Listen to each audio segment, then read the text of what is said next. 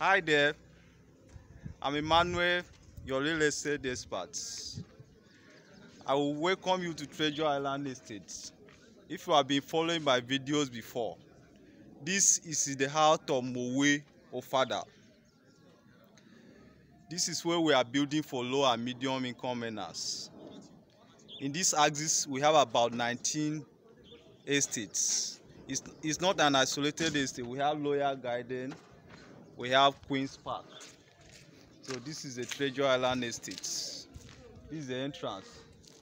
That is the entrance gate. This is the exit gate. I will take you inside so that you see what we have on ground. Coming into the estate, this is a security post. So inside the estate, by the left, we have two two bedrooms. This is massive. These are the two two bedrooms. This Gold Street. We have more than 500 units. You can see from here, go inside. We have more than 500 units. So turning to the left, this this side is a three three bedroom. You can see. We have more than 400 units of this. There is light, there is water, there is security. You can see the wires that supply light to. Look at the transformer there.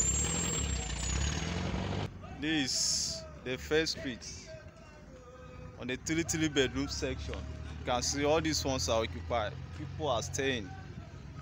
People are taking possession of their property. You can see all this belongs to prospects, to clients. This one has taken possession, even parking. So because of his privacy, I'm not going to take you inside. You can see what we have. This is another one. Even this one has taken possession. This another one. This is a type of fence that is allowed, a dual fence, short fence, so that your neighbor will be seeing what is happening.